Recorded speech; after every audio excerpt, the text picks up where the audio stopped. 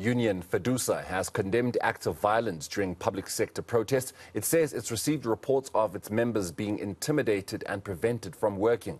In some cases, they've even been assaulted. I'm now joined by FEDUSA's Deputy Secretary General, Ashley Benjamin, via Zoom. A very good morning to you, Ashley. Thank you so much for joining us here on eNCA this morning.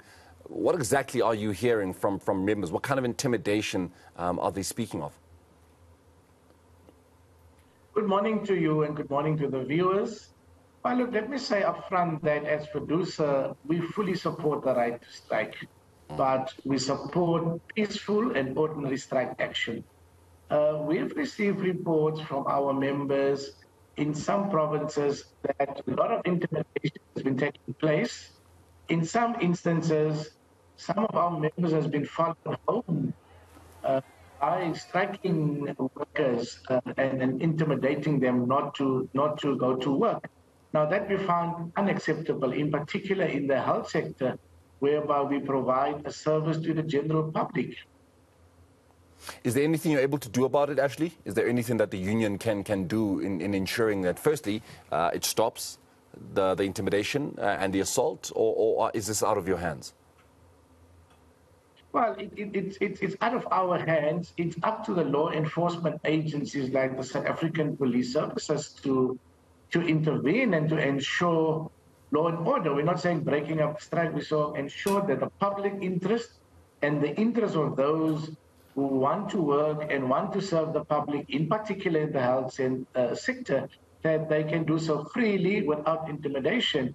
I think we've seen some reports yesterday in the uh, KwaZulu-Natal area, whereby where there was a police presence at some of the hospitals and business were normal. Uh, workers were allowed to go to work and patients could freely enter and exit the hospital. And that's all that we want to see. We support the right to strike, but I think no one has got the right to deprive others of their rights as well as the public, in particular the poorest of the poor, to access these public hospitals. Now, I'm not, I, I wouldn't want to make it seem as though it's um, acceptable, uh, the, the method of protesting, but the, the protesters could then come back and say to you, uh, Ashley, as, as FEDUSA, and, and, and everybody else, in fact, to say that they are not going to hear our message and they're not going to hear it clearly if we don't do it the way we are doing it, if we do not protest the way we are protesting. Uh, would you feel that, that that that could then perhaps make sense as to why they're doing what they're doing, or this is just um, acts of criminality? I think it's complicated, but one needs to look at the situation on its merits. If you protest outside a health facility, I mean, you're dealing with people's livelihoods. Uh, people uh, generally who visit hospital are in need for for medical attention. So it would be very unethical and unprofessional to block an entrance of a hospital or to block an emergency vehicle from entering and exiting a hospital. That is unacceptable. That, that we cannot support.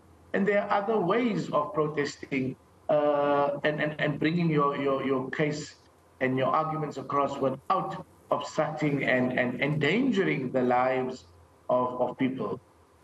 How do you hope that this ends up, uh, Ashley? How do you hope that this is, is, is resolved? Uh, because, you know, there's, there's protesters who are, who are essentially upset and, you know, they feel aggrieved that their, their complaints and their cries are not being heard. They feel insulted. And yet you, you have, you know, a government that's saying that, well, I mean, we can't necessarily give you what you want because of whatever reasons that they've put forward as well.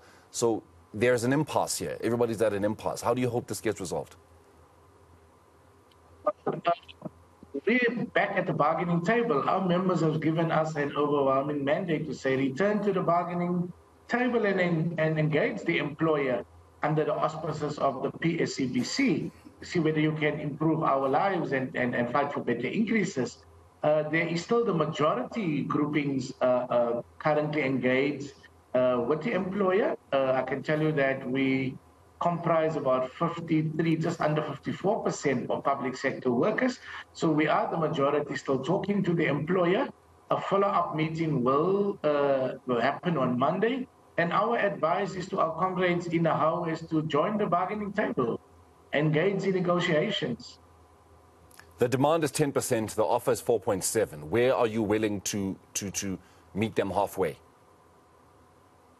Look, it depends. It, it's an emotive issue. As you know, public servants has been uh, unfairly treated over the past three, four years.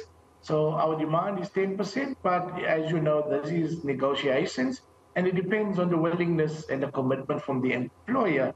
That will guide us uh, as the FEDUSA grouping as to how where we will settle, and obviously our members will give us the final uh, mandate as to how we need to conclude uh, this year's wage negotiations. Has it ever been considered, perhaps, uh, Ashley, because you know sometimes in protests, it's not really members that are, you know, essentially enacting acts of, of, of criminality and, and causing the chaos that is being caused. It could sometimes just be third parties, you know, outside forces, if, if, if, if you may. Has it been considered potentially that it may actually not even be your members that are doing this? And what would you then be able to do if you were to find that it's actually not your members? Is there anything you can do? Well, there's always what we call agent provocateurs. There's always a criminal element that will come in and exploit the situation and, and, and, and, and the fight of workers. But in that instances, it's easy to determine uh, whether there is outside influence. But then we expect the leadership of the union to come out strong and speak mm. against this intimidation and violence. That would show uh, the bona fides and ensure that as responsible trade unions, that we support orderly uh, uh, strike action and not endangering the lives of others. Ashley, I will leave it there with you, but thank you so much. And we can only but hope that this ends up in a, uh, you know, a sensible uh, conclusion that everybody gets what it is that they are demanding, that they are asking for, and, and, and, and that, you know, the protest action doesn't spiral out of control. But uh, we'll leave it there with you. Thank you so much for joining us here on ENC. That is FEDUSA's Deputy Secretary General, Ashley Benjamin, joining us, of course, via Zoom.